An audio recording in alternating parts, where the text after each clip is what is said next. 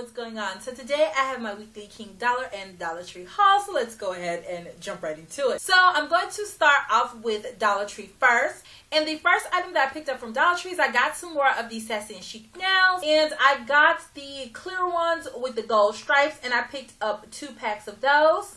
Then I saw that Dollar Tree had um, two new scents of the body spray, so I went ahead and picked them up. I got coconut hibiscus and mango hibiscus. Then I found some more of the fabric washi tape in two more patterns that I don't have yet. Got the purple floral one and the red polka dot. And the last thing that I picked up from Dollar Tree is I got three of the white top Revlon nail polishes. I got this one in number 100, Enthrall, number 120, Tantalize, and number 070, in Rapture. Now moving on to King Dollar. From King Dollar, I found this 12 pack. Yes, y'all. 12 pack of 4 ounce Ramekins and they just look like this. The next items that I got from King Dollar is I picked up some more containers. I got these longer pink containers and they did come in a, three pack. And then I got this um, shorter, um, wider three pack ones. And here are both the containers compared to each other. Okay, then from King Dollar, which I am super freaking excited about because I had been searching for these at all the Dollar Trees that are near me, and these products have not made their way to Dollar Tree, but they did make their way to King Dollar, so I was super excited because I have been really wanting to try them. The Nini Secrets hair products are at King Dollar.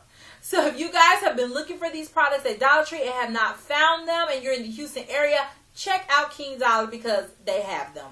I got the hair mask, the leave-in conditioner and detangler, and the curly and cute cream. And I cannot wait to try those products. If I like those products, I definitely will be back at King Dollar to stock up on some more and some backups and, you know, all that good stuff. The next items that I'm super excited that I found at King Dollar, and I didn't even have to search that far for them, are some more of the um, a four pack tape works washi tapes in the two patterns that I had been looking for.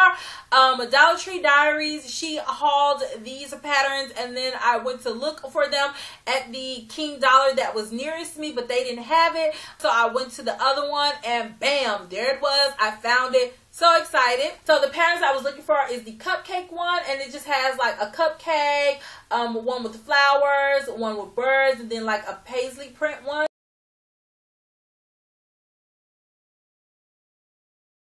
And then the one with the skull, the caution tape, the ladybugs, and the keep out. And I ended up getting three packs of each one. And the last items that I got from King Dollar are some books. The first book that I picked up is a recipe book, and this is the Family Circle Annual Recipes for 2011. They did have 2012 and 2013, but I liked um, the recipes in this one better, so I went ahead and picked it up. And y'all, this is a really, really nice book.